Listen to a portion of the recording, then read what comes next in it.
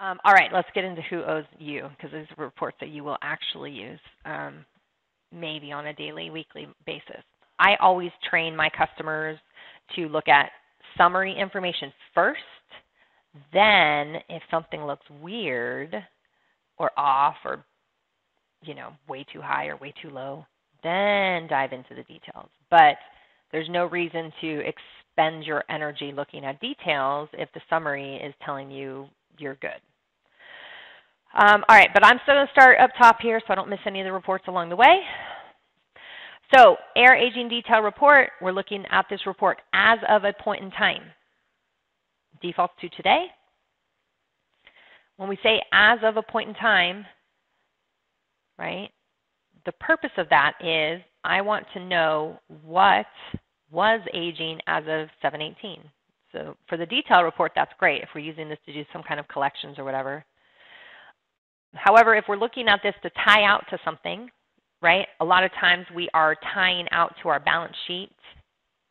And our balance sheet we are tying out to um, as of last month, right? Because I'm closing out June and I need my subledger report to match my balance sheet.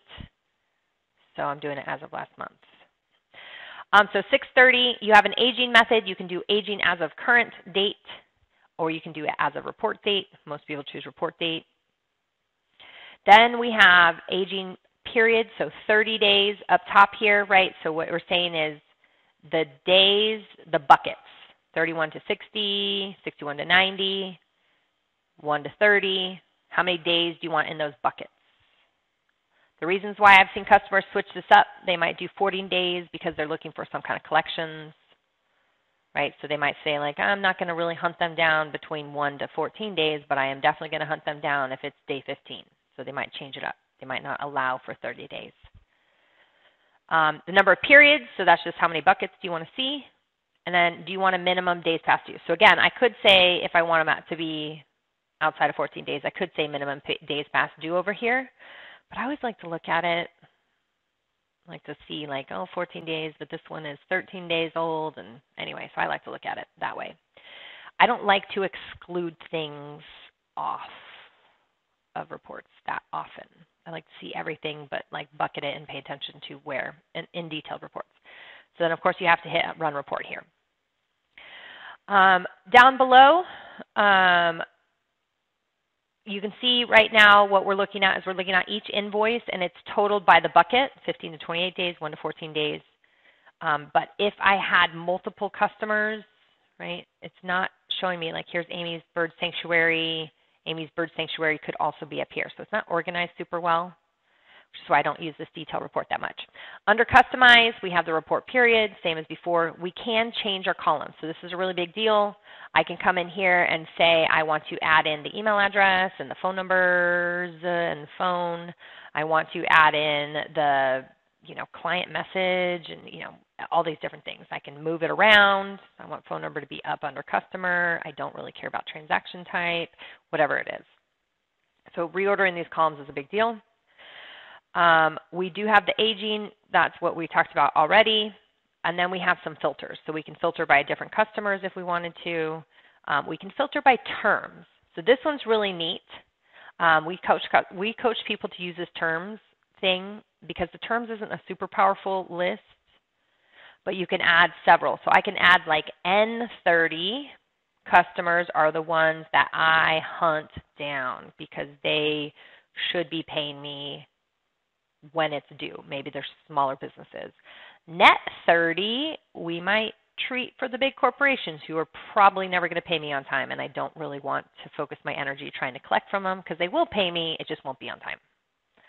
So you can filter by terms, right? So that's a great way. So still same net end result. They both are due, showing due in 30 days, but I can filter by terms to know which customer group I want to go after. It's a good way to use it. Um, you can filter by due date. Um, you can also filter by ship via. So that's a weird one, right? Um, ship via also in QuickBooks Desktop is a filter that you can use pretty powerfully. Um, it's just good to know that it's there and you can use it. I don't know why you'd want to filter. Maybe you'd want to not go after dropship customers or something like that, or I don't, UPS grounds you don't want to go after because it might ship slower. You might give them 20 days if you're going ground shipment. I don't know. I don't know why ship via. it's very confusing to me, but it is what it is. It's there.